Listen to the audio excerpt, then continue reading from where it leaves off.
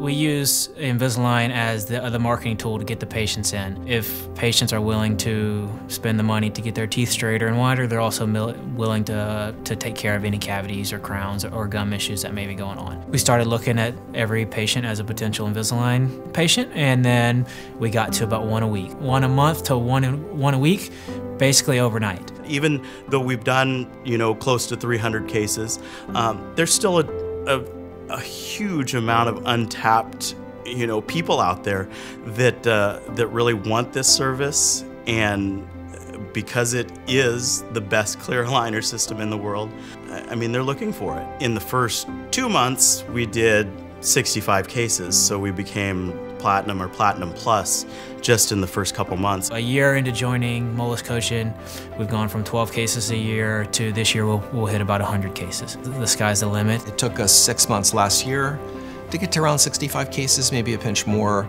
We've already done 41 in a month. My goal is to actually head to Diamond. Definitely grown the revenues substantially, probably 20% in the first six months.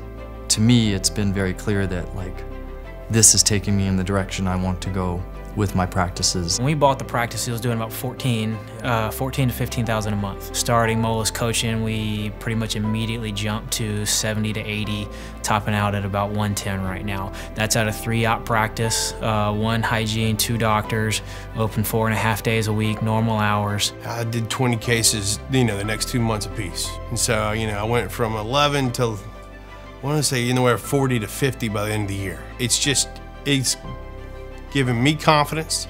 It's showing me where the like the shortfalls that I do have in my practice that, you know, can really take this quite above and beyond even what in my head I had pictured for myself. I want to get to the point where it's one a day and, and, and then two a day. So I have no doubt in my mind that we'll get there.